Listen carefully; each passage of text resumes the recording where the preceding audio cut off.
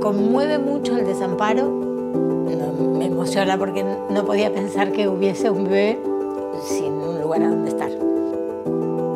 Mi nombre es Patricia, soy jubilada y soy familia de acogimiento. Ser familia de acogimiento es tener un niño que está bajo juez de menores, cuidarlo, darle mucho amor mientras se resuelve su situación judicial. El programa Así sea niños de 0 a 5 años es una etapa de la vida sumamente importante en el desarrollo, define muchísimas cosas en la vida de una persona. Para lo que van a ser después de más grandes y de adultos, si esos niños tienen que ir a un hogar se comparte con muchos otros, es mucho más difícil atender a las necesidades. Si están en una casa, se puede cuidar mucho más todas las necesidades afectivas y de salud que tengan. Al programa este llegué por una amiga de mi hijo, me contaron cómo era, cómo funcionaba.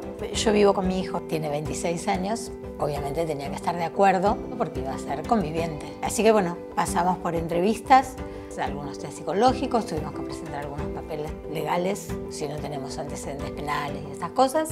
Fuimos aceptados y pasaron tres o cuatro meses hasta que llegó la primera bebé, ver su, crecimiento, su desarrollo, su primera sonrisa, te agarré el dedo, no sé, cosas que sí, me emocionan. Estuvo un mes y medio y fue en adopción. Es hermoso el proceso, maravillosa la situación de que sus papás la vinieron a conocer a su hija acá, que ella lo fuera conociendo y se fueran adaptando y acostumbrando hasta que finalmente se fue y después vino otro y otro y otro más. Todo el mundo pregunta esto, pero cuando se va yo no podría porque si se lo llevan, no sé, se puede se puede seguir teniendo relación con ellos porque las familias siguen mandando fotitos y, y videitos y seguimos estando en contacto. Es hermoso poder dar, poder brindarles eh, eso que necesitan en una etapa tan importante de la vida. Lo más importante de, de entrar al programa es entender eso, entender que es un mientras tanto, hasta que vaya eh, o en adopción o vuelva con su familia de origen. Amarlos pero saber que se van a ir. El sentimiento es hermoso, ¿eh?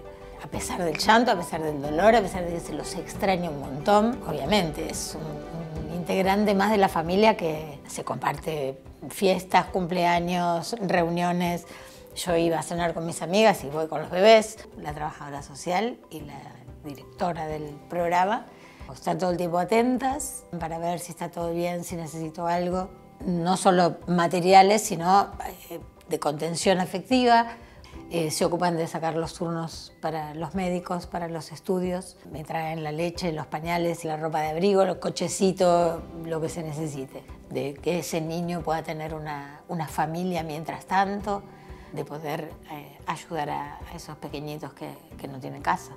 Se te da la lágrima, con una mano entregas y con la otra recibes el próximo. Siempre hay uno más para darle más amor.